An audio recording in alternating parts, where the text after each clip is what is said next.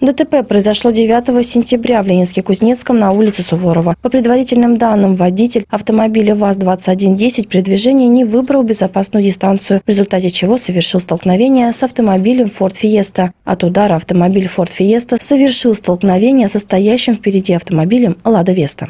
В результате дорожно-транспортного происшествия травмы с оказанием разовой медицинской помощи получили 42-летний водитель и несовершеннолетний пассажир автомобиля Ford Fiesta. Прибывшими на место происшествия инспекторами ГИБДД было установлено, что 36-летний водитель ВАЗ-2110 в момент ДТП находился в состоянии алкогольного опьянения. Кроме того, он не выполнил требования законодательства об обязательном страховании автогражданской ответственности, а также управлял автомобилем, не имея при себе регистрационных документов на транспортное средство. На мужчину были составлены административные материалы по части 1 статьи 12.8 Кодекса об административных правонарушениях Российской Федерации – то управление транспортным средством водителем, находящимся в состоянии опьянения, который предусматривает штраф в размере 30 тысяч рублей, а также лишение права управления на срок от полутора до двух лет.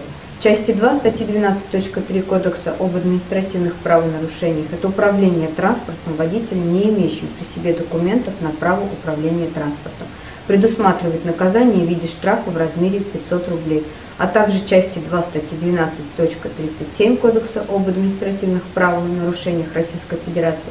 Это неисполнение владельцем транспортного средства, установленной федеральным законом, обязанности по страхованию своей гражданской ответственности, а равно управление транспортным средством, если такое обязательное страхование заведомо отсутствует – предусмотрен штраф в размере 800 рублей. В настоящее время сотрудники полиции выясняют все обстоятельства произошедшего. По результатам проверки будет принято решение в соответствии с законодательством. За 8 месяцев текущего года на территории Ленинска-Кузнецкого зарегистрировано одно ДТП, связанное с неправильным выбором дистанции, где два человека получили травмы различной степени тяжести. С участием нетрезвых водителей, а также отказавшихся от прохождения медицинского освидетельствования зарегистрировано 9 ДТП, в которых 4 человека погибли и 8 8 получили травмы различной степени тяжести.